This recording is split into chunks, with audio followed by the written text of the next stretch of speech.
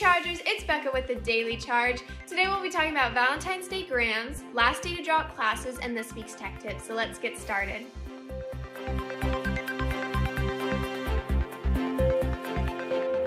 Chargers, Valentine's Day is next week, which means it's time for Valentine's Day grams. The DP Jazz Choir is still doing their annual singing grams.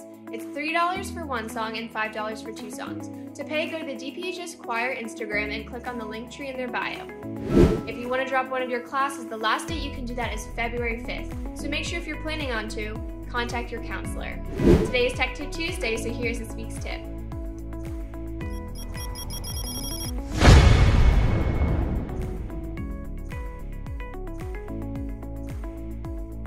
Hello everybody and welcome to today's daily tech tip. Today I'll be showing you how to access voice control.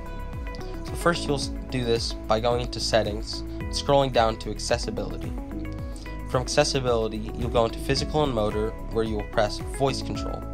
Then there at the top of the screen you will flip the switch for voice control and it will now be on. To access all the many controls you can do, go to customize commands and from there you'll see all the numerous commands you can do such as basic navigation, overlays, basic gestures, advanced gestures, dictation, text navigation, text selection, text editing, text deletion, device, and accessibility. Thank you for watching today's Daily Tech Tip. That's all I have for today, Chargers, so have a great Tuesday.